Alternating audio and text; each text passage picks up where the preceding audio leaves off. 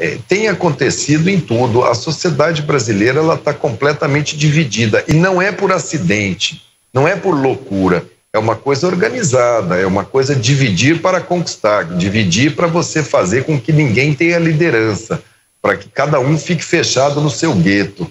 É, isso daí o país está indo para um caminho que não vai acabar bem. Essa conversa, essa prosa não está boa. Né?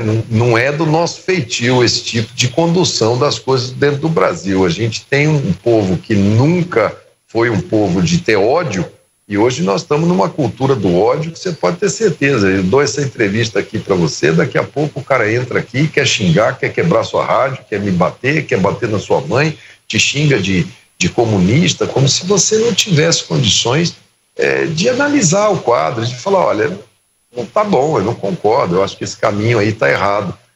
E no caso da crise da saúde, que ela é uma crise aguda, essa a gente está enxergando e a gente está vendo o tipo de liderança que a gente tem. Mas ela vai passar.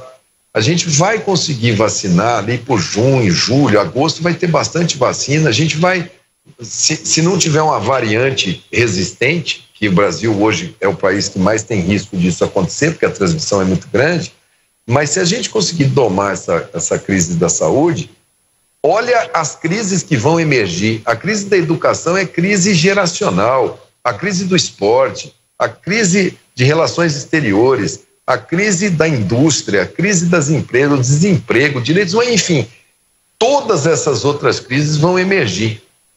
E ao emergir, a gente vai precisar de liderança para sair dessas crises todas. E eu já fico aqui pensando que tipo de liderança que a gente vai ter, como é que isso vai ser. Porque a, a, a ciência resolve.